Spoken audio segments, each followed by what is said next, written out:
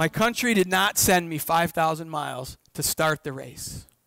They sent me 5,000 miles to finish the race. This morning we're going to be talking about and we're going to be singing about perseverance. Because in the section of Scripture that we're going to look at this morning, it could be boiled down to this God did not save you to start the race of faith, He saved you to finish it. And as we are going about our journey of faith, as we are running that race, we get hurt and we get discouraged. We get injured, there's pain. Sometimes we wonder if it's worth it. Who's going to even notice if we finish? Who's going to care? It doesn't, the race isn't unfolding the way that we thought it would. And we could be tempted to give up, tempted to quit. But God hasn't called us just to start the race. When you got saved, when God saved you through Jesus Christ, that wasn't the end of your race, that was just the beginning. God hasn't called us just to start, God has called us to finish. That's perseverance. In Matthew chapter 10, as Jesus is continuing his instructions, talking to people, talking to his followers, telling them what it means to be a follower of him and how to live their lives. One of the things he starts to address with them is perseverance. And we have that in chapter in Matthew chapter 10 verses 26 and following. We'll be talking about this in a few minutes, but let's just look at the verses. It says, "Therefore do not fear, do not fear them. He was just talking about people who are going to hate you because you're a Christian. He's talking about people who are going to give you a hard time. And he says, Don't be afraid of them. There is nothing covered that won't be revealed, and there is nothing hidden that will not be known. Whatever I tell you in the dark, Jesus says, speak in the light. And whatever you hear in the ear, preach on the housetops. Do not fear those who can kill the body, but can't kill the soul.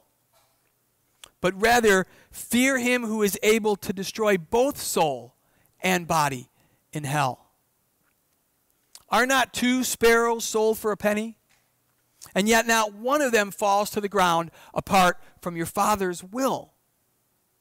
The very hairs on your head are numbered. God is so intimately acquainted with every detail of your life, down to the very numbers of the hairs on your head. God knows them. So don't be afraid. You're of more value than many sparrows. Therefore, so here's the conclusion whoever confesses me before men, I will also confess that person before my Father who is in heaven. But whoever denies me before men, I will also deny him before my Father who is in heaven. Jesus is teaching them that in the course of running their race of faith, they are going to face opposition. They are going to face things that are going to cause them to want to quit, to want to give up. And Jesus calls them to perseverance, to keep running the race. What does Christian victory look like to you? When you think about living a victorious Christian life, what does that look like? Does it look like getting standing in front of some huge crowds and thousands of people responding when, to your message so that they get saved? Does it look like going into some faraway country and witnessing to people who have never heard the gospel? We are each called to our own individual style of race, but the one thing that Jesus wants, the one thing that Jesus requires of all of us is to finish the race.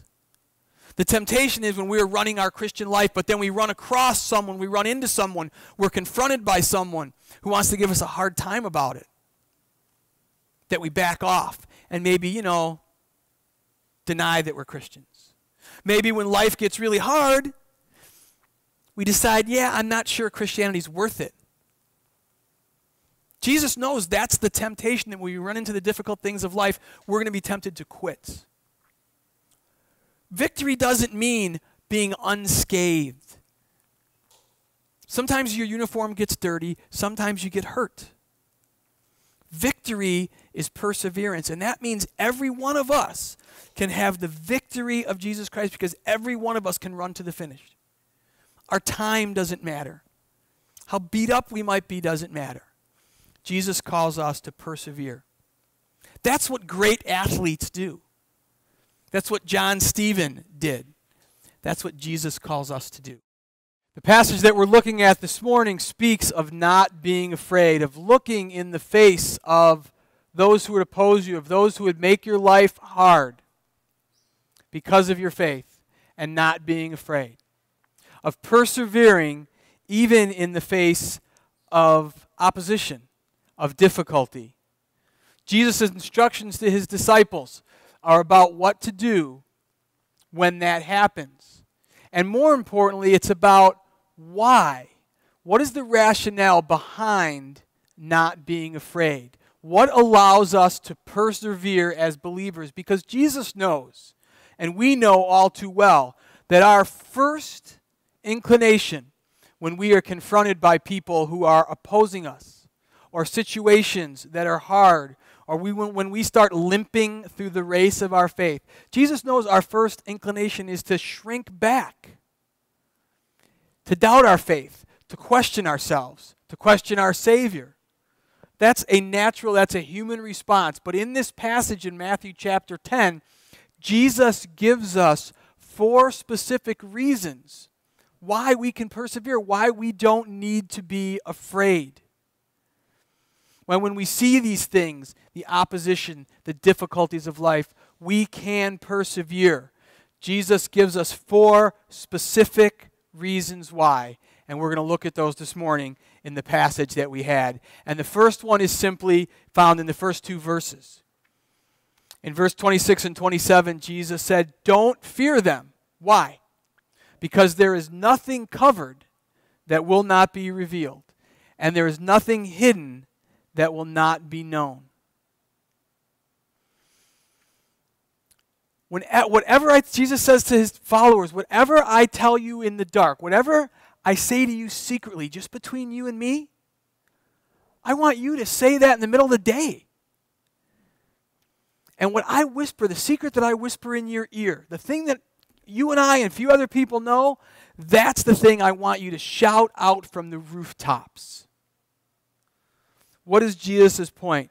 Why can you be that bold? Because you will be vindicated. With 15 games left in the 2011 baseball season, the St. Louis Cardinals, who, as Christians from Chicago, we hate, were five games out of the playoffs with 15 games left to go. They were out of it. A fan of St. Louis, who happened to be in Las Vegas, decided it would be a good idea to put $250 down on the St. Louis Cardinals at 99 to 1 to make it to the World Series. And then he bet another $250 for, that the St. Louis Cardinals would win the World Series. And that they gave him the odds of 500 to 1. 15 games, two weeks left in the season.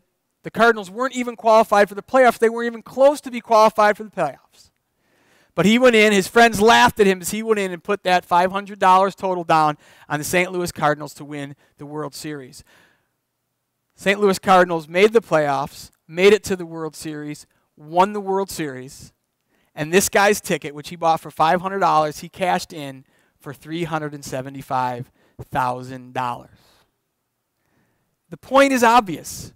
You should gamble more. You should be betting. This was speculation. This was wishful thinking. What would you do if you knew you were going to win the bet? What if there what if you knew the result of the game? This week the Blackhawks opened up their preseason and uh, the game was on tape delay.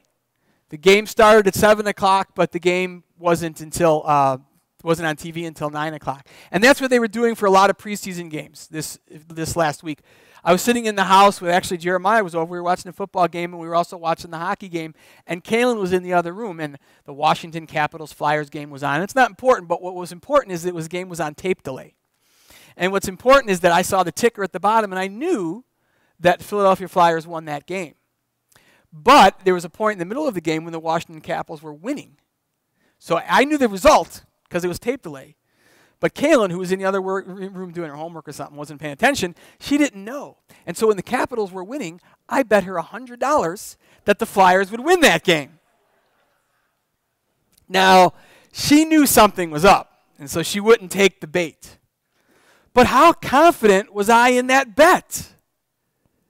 I knew that I would be vindicated. I knew I would be vindicated. And that is Jesus' point. When Jesus says, Whatever I whisper in your ear, shout from the rooftops. Whatever I tell you in secret, say it publicly. What is Jesus' point? Jesus' point is that you will be, we will be vindicated. We will be proved right. Just like that guy who walked in with the ticket, when he bought that ticket, people thought he was foolish.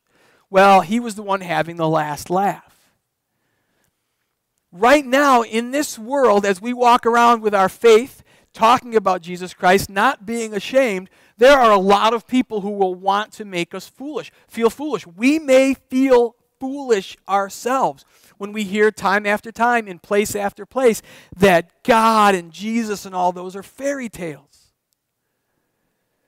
But Jesus says we don't have to be ashamed. Jesus says we can persevere. Why?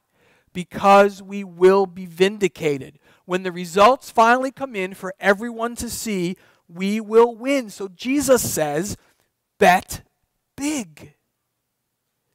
Jesus says, all the stuff I'm telling you now that doesn't have widespread acceptance yet, it's going to come to fruition. It's going to happen.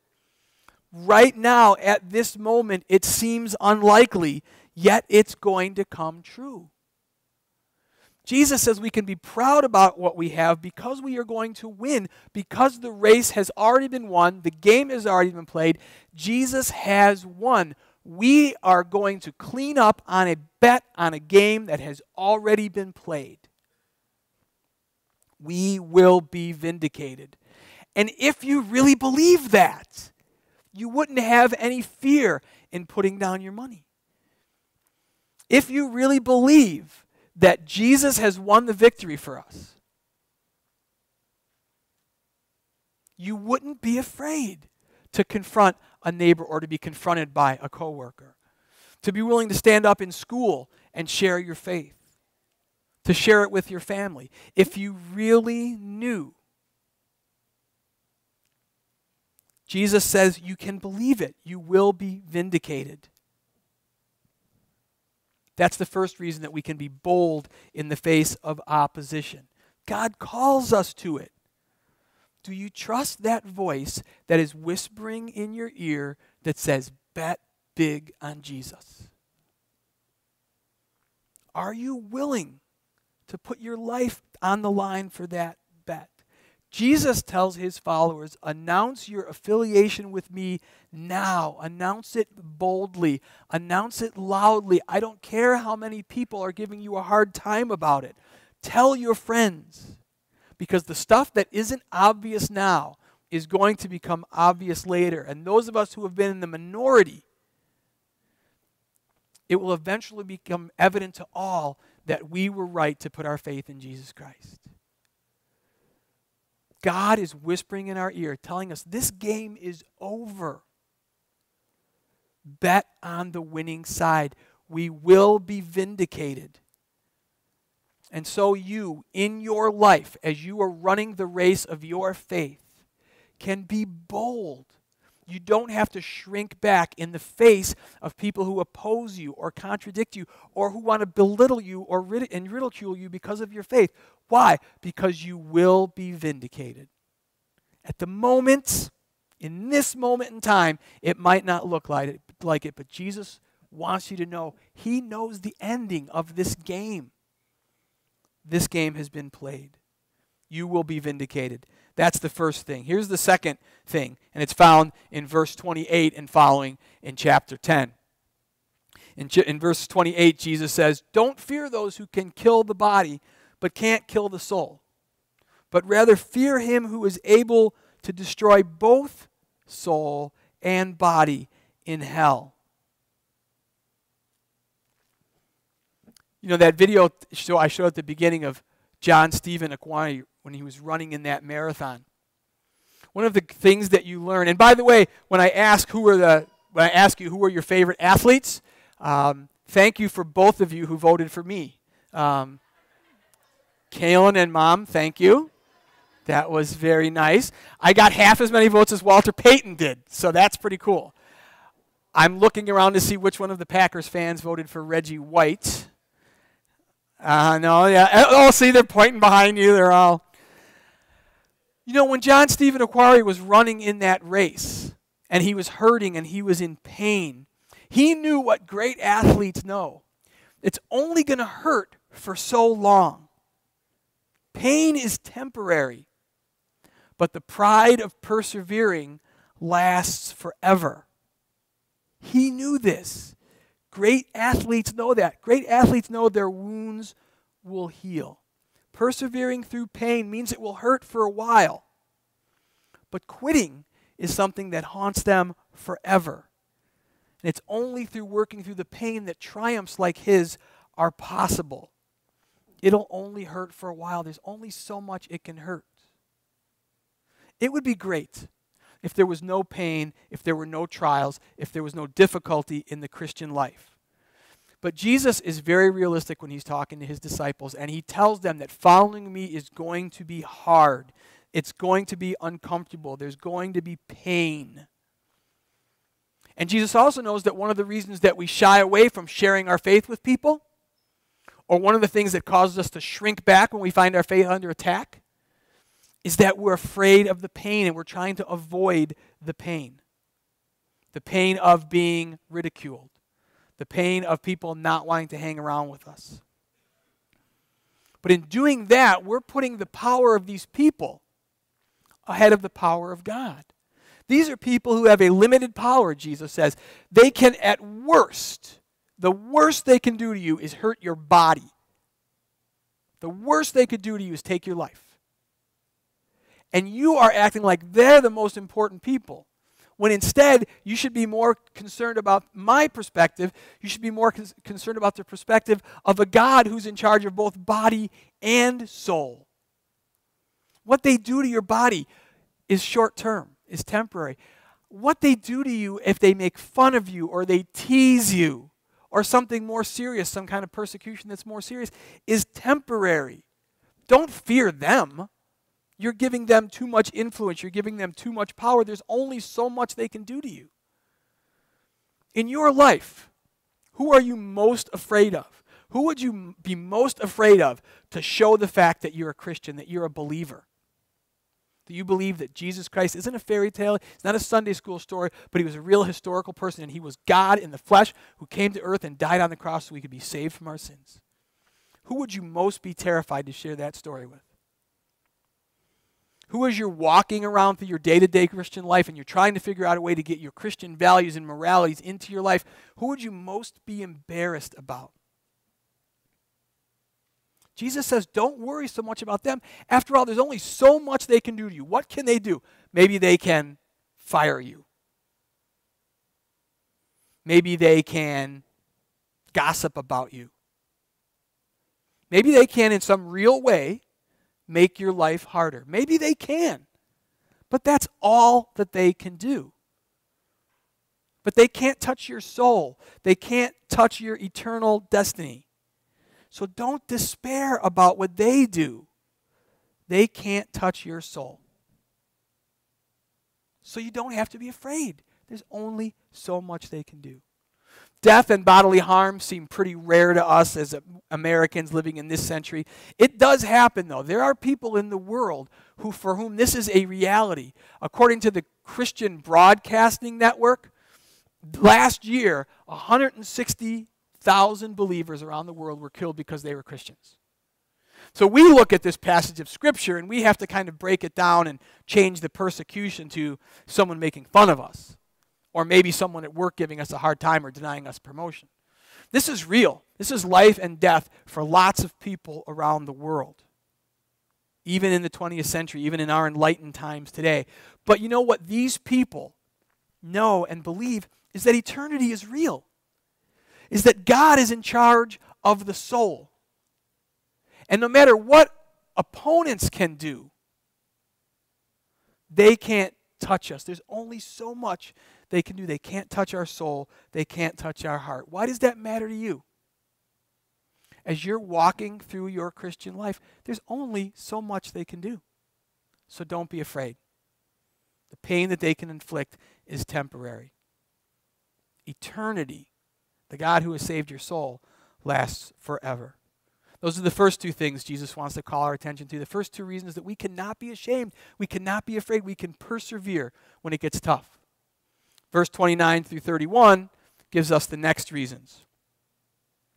In verse 29 through 31, Jesus says, Are not two sparrows sold for a penny? Penny. Penny. What is he trying to say? And not one of them falls to the ground without your father knowing about it. Why is he talking about sparrows and pennies?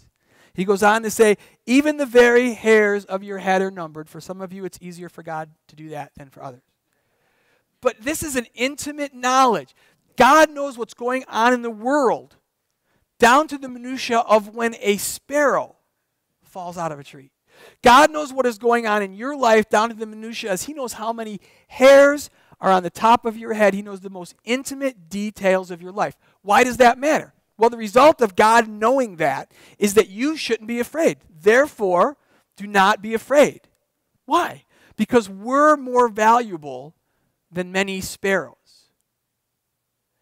God is paying that close of attention. Nothing happens to a sparrow without his knowledge. And we're more valuable than a sparrow.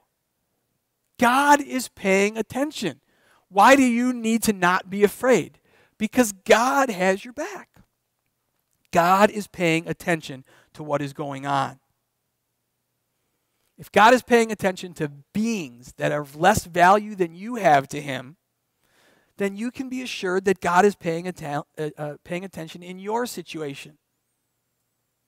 The injustice and the hardships that you're going through now don't escape His attention, and they're going to be factored in eventually and eternally. You know, John Stephen Akhwari in that race, he didn't finish to be noticed. He finished because that's what his country sent him to do. But in doing that, in persevering, he was noticed. A lot of the spectators had left, all of the competitors have left. But some people were there, and some people witnessed that act of bravery. Someone on camera caught it. And now that act of perseverance lives on. And 30, 40, 50 years later, people are still talking about it. It's still inspiring.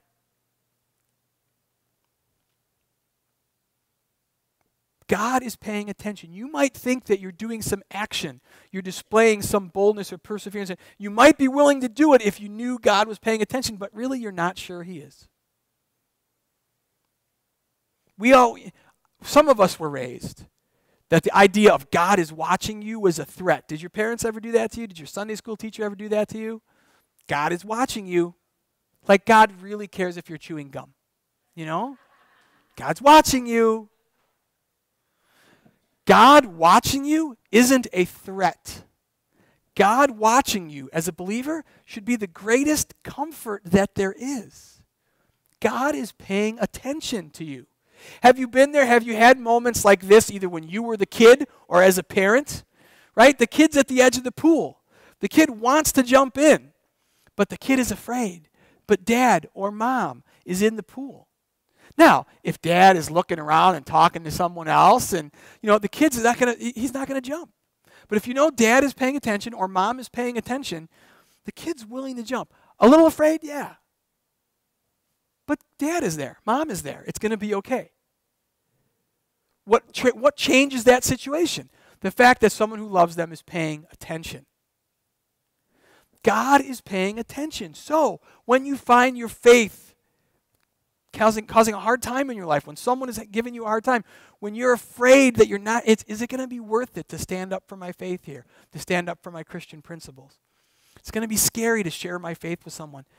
Is it going to be worth it? I want you to know, Jesus wants you to know that God is paying attention. So don't be afraid. Jump. Jump. God has you. God notices. God is watching you is not a threat. It's the greatest comfort a believer can have. Here's the final point. And the final point is really just it it's the final point. Perseverance is what we were called for. This is the mark of real faith. God did not cross time and space through the person of Jesus Christ and save us just for us to start the race. God saved us so that we would finish the race, so that we would endure the obstacles of whatever jumps up in our way in Christian life and makes it painful. God called us to persevere through that so that others seeing us would be inspired, so that our personal faith would be deepened. And if, in the face of this promised hardship, this promised opposition, if in the face of that we maintain our faith, it is faith. It really is faith. And God is going to reward that. But in the face of uh, faith of opposition, if people don't hold on to their attachment of Christ, then there's no Christ that God can acknowledge in their life. There's no attachment to Christ when that final day of vindication comes. Persecution gives us the opportunity to display our faith in a powerful way. If you look back over human history, the recipe for the spread of Christianity is really very simple. And it's the same recipe that works at work or at school, in your neighborhood. Here's the recipe persecution plus Christians who are willing to endure it equals the growth of Christianity. Where Christianity is persecuted, where Christians, where it is a bold thing to stand up for your faith, and add to that, where there are people who want to persecute you for your faith, if you have those two elements, you have the conditions for Christianity to spread like wildfire. As a very famous saying goes, Christianity is the anvil that has worn out a thousand hammers. People throughout the course of human history have been hammering on Christianity, trying to make it disappear, trying to make it go away. But because there have been people who have been willing to persevere in the face of opposition, Christianity spreads like wildfire. Do you want Christianity, do you want your faith to spread around the people in your circle, the people whom God has called you to be an example to and to minister to? You need two things. You need someone who's willing to persecute you, they're doing their part. All that's left is you doing yours. Doesn't mean you have all the answers. Doesn't mean you never screw up. It doesn't mean you're not injured. It just means no matter what, you hold on to your faith in Jesus Christ. Even through your flaws, even through your failings. Don't be intimidated, Jesus says. Don't be afraid to go public now. Don't be bullied into silence by the threats of culture or of friends or of family members who, in the grand scheme of things, really can do very little to you. You have a tip from a reliable source. And it might not look like it now, but this long shot called Christian faith will come in. And if you're willing to bet, if you're willing to stand firm, if you're willing to shout from the rooftops today about what you know in private, you will be vindicated. So that's what I want to ask you this morning. Are you willing to persevere? I know you want to. I know as you sit here and you hear this, you want to persevere. You want to be one of those who stands up boldly. And on the day when God makes everything right, God point to you and says, Yep, he was right. She was right. We all want that. We have to choose. The fear is there, but we have to choose to act rightly even in the face of that fear. We have to act to persevere. That's the kind of faith that God has called us to, not to start the race, but to finish the race. God has called us to finish. God has called us to fight. We need to fight.